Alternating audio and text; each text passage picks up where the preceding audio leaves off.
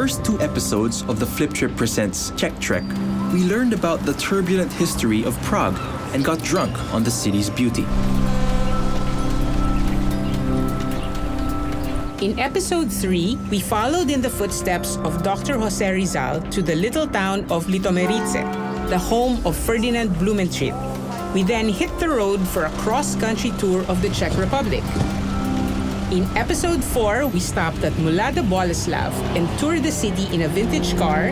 Then we visited Olomouc, where nearly every building has some historical significance. Now we're still on the road. We're told that in České Budějovice lies a trove of Filipiniana. But before we get there, we have one hip city to see. In this episode, we visit the cities of Brno and České Budějovice and discover that there's magnificent architecture and great beer outside of Prague. I'm Jessica Zafra. I'm a writer and I travel for material. I'm Pepe Diokno. I'm a filmmaker and I travel for inspiration. We're traveling around the world to find the Filipino connections.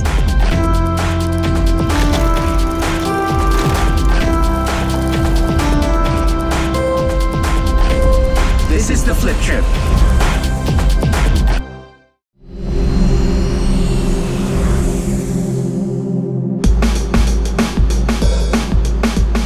We're now in Brno, the youthful second largest city in the Czech Republic and one of the greenest and most sustainable in the world. To get a real feel for the city, it's best to walk, so that's exactly what we did. We went to the city center to meet our guide. We mostly hear about Prague. Why don't we hear much about Brno? Okay, the city of Prague is the capital, the official capital. Of course, it's a jewel of architecture. Nevertheless, the city of Brno, I think you have to go a little bit deeper in your knowledge. But if you are able to do that, you will be surprised very, very pleasantly because it's fantastic in strategically important place. You can reach many historical monuments and uh, natural monuments uh, in one hour or in 35, 40 minutes. So it's a hidden treasure actually. Yes, and wasn't it awarded one of the greenest cities? Yes, this year we have been awarded the gold medal in the Entente Florale competition, which is the competition of the cities who, who want to show uh, the greenery and the quality of environment and the quality of living in general, I would say. Our guide took us around the historical center of Brno, to the Cathedral of St. Peter and Paul, the market, and he pointed out the abbey where Mendel established the science of genetics. The Guardian newspaper referred to Brno as the city of. Here's why. Pepe and I really like Brno. Unlike Prague, the city has yet to be discovered by mass tourism, meaning that prices are reasonable and crowds are manageable. With cultural institutions, tech startups, and 89,000 university students in a city of only 380,000, it also seems cooler than Prague. Just don't say that to someone from Prague, as citizens of the two cities have a good spirited rivalry going on. What do beer and Jose Rizal have in common? Our journey continues up next on the Flip Trip. Na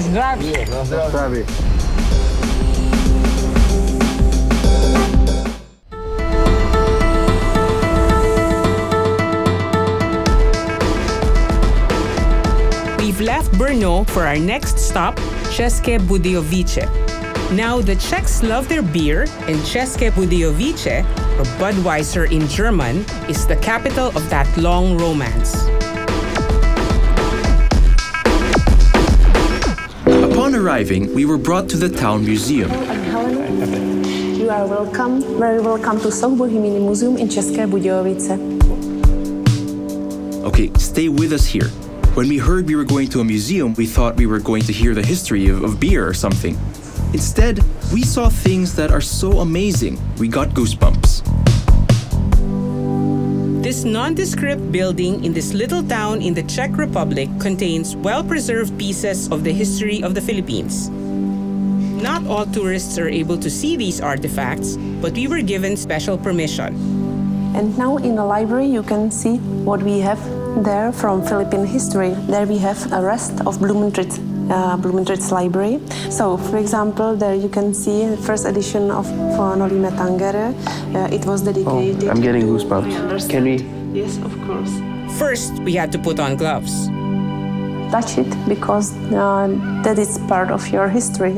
I'm touching Jose Rizal's signature. Signature, yes. uh, Sucesos de las. Islas Filipinas de Morga uh, with the introduction of Ferdinand Blumentritt and also with dedication uh, of Jose Rizal to Blumentritt, meinen liebe Freund, uh, to my best friend.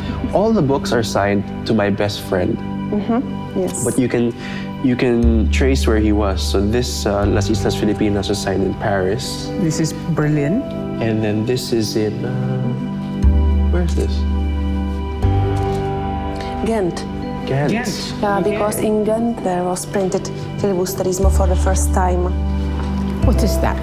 Uh, there we can see um, the Philippine Republic, uh, Philippine newspapers here in České Budějovice. Organ of the Filipino people.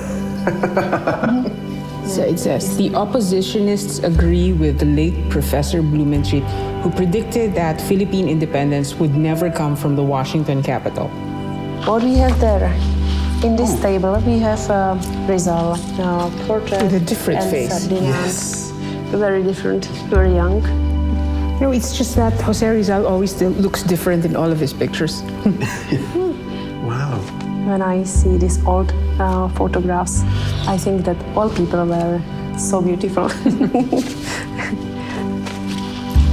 and uh, there you can see sketches from Jose Rizal uh, made uh, in Litoměřice by his European stay.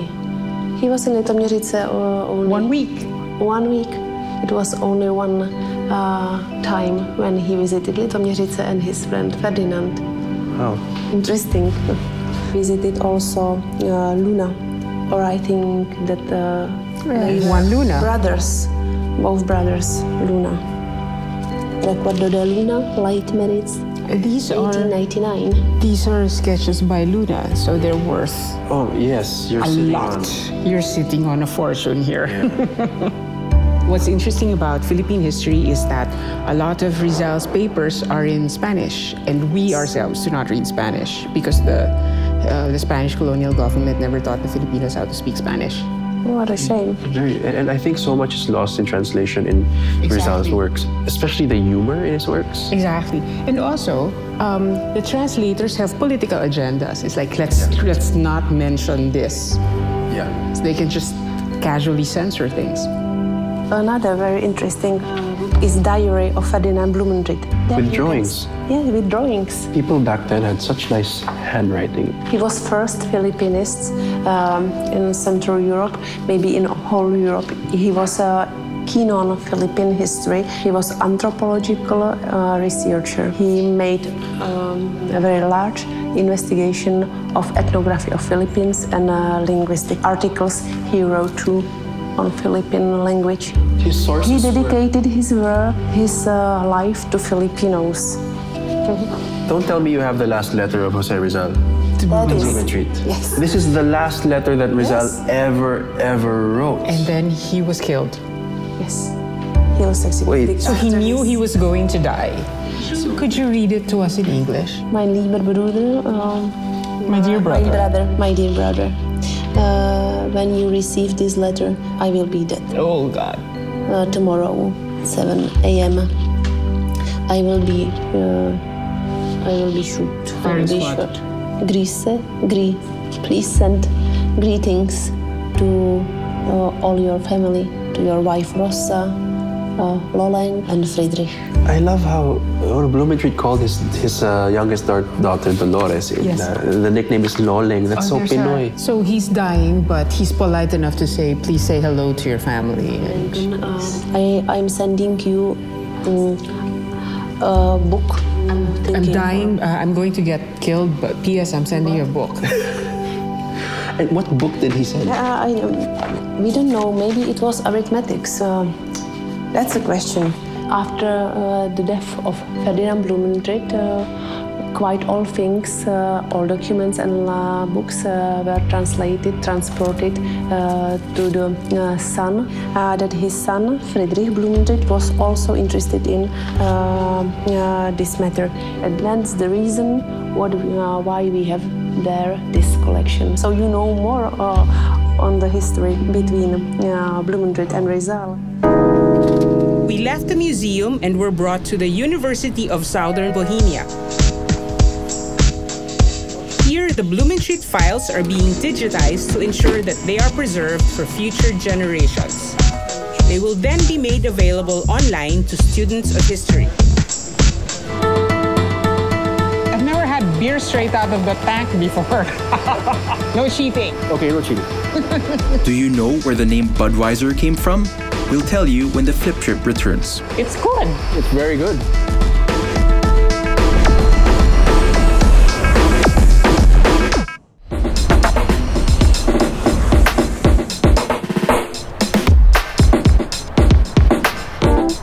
There's one more thing we had to do in this town, which was to visit a brewery.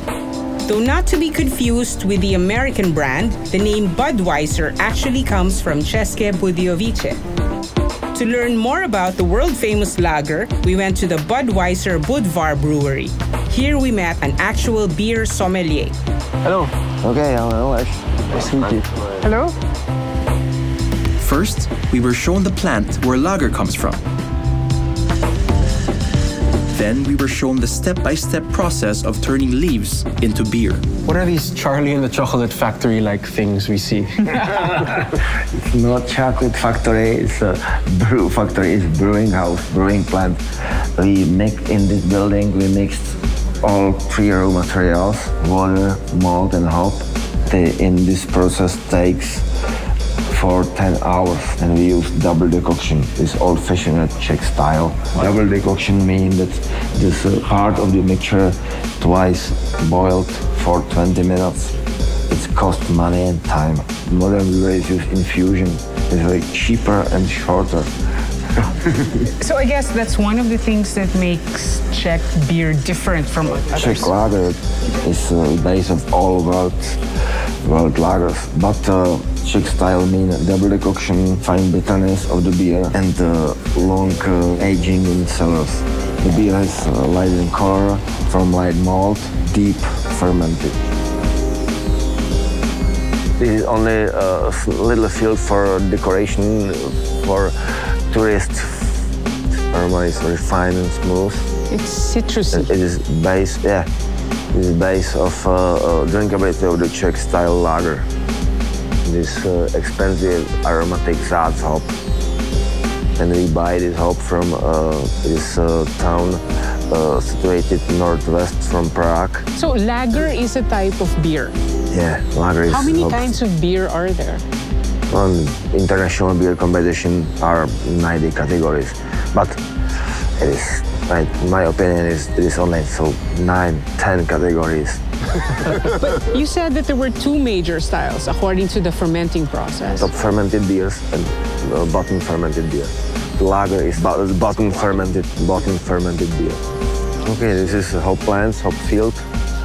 Yes, right now is November, and the harvest time is uh, early, early uh, September. But, but this is what goes into the beer. No, but it is a little bit uh, yellow, a little well, bit dry, a little bit fresh. Hop is uh, brown, uh, is green. This hop color. but There's a smell. When, you, when you when you want to feel, you know, ah. you need ah. cut it. You can see the mm. yellow powder. And this yellow powder is very aromatic. Let me introduce you our raw materials. It's uh, called Czech malt or Pilsner malt, light in color. They smell very fine. Taste too.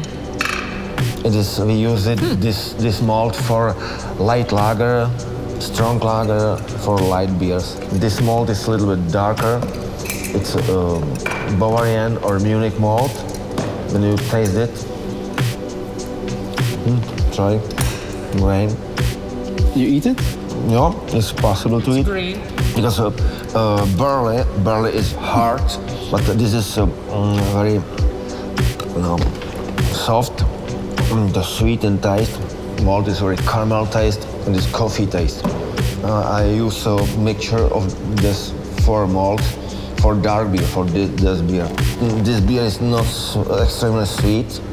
It's a little bit herb, stronger, bitter than light beer, and uh, has strong coffee taste because I use um, strong part this uh, roasted malt. And it is unisex beer. It's not only for women. Uh, this is not the same beer that is sold in the United States during the Super Bowl. The American Budweiser mm, uh, start product product beer of Czech style, Budweiser style, in uh, year 1867. Okay. We in a town České Budějovice, we produce beer since year 1265. yeah. 600 years earlier. Yes.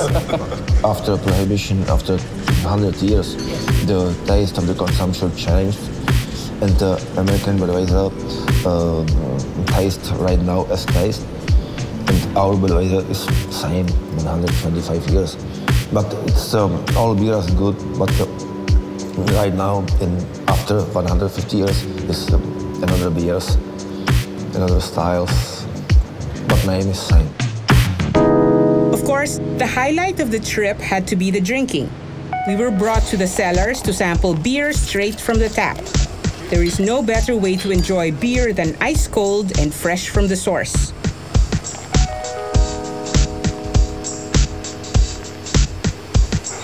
It's good. It's very good. I never imagined myself drinking beer in a basement straight out of a tank. So that's our thing now. When we get back home, we'll say, oh, oh no, thank you. We only drink Czech beer. What does the 12% mean? It means uh, original concentration of malt sugar in the, in the world. It's uh, depend from strong strongest of the beer. Okay. Because it's unfiltered, you can you can feel so haze in the beer. It is a, it is a yeast and uh, some um, some haze from hop and um proteins. We filtered it for uh, finally filling to cask or uh, bottles. Bottle. Okay, the beer is smooth, fine, uh, fall now. It's very smooth. Yes. Nice happy. the best after after 60 or 90 days is excellent. But uh, this unfiltered beer is for me the best in brewery.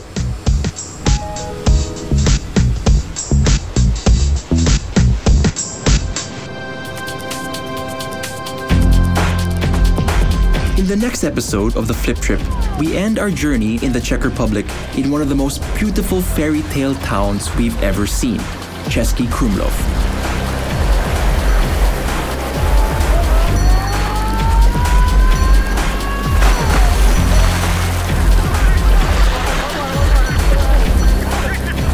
Watch more at thefliptrip.com and look for us on Facebook and Instagram.